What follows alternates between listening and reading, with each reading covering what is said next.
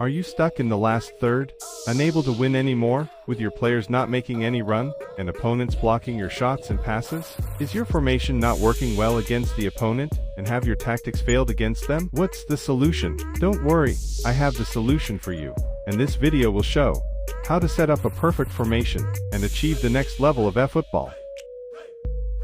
Formation is important in eFootball gaming because there are various formations and play styles. Possession game, quick counter, long ball counter, out wide, and long ball. Today, I discuss quick counters and the ideal formation for them, with the best manager.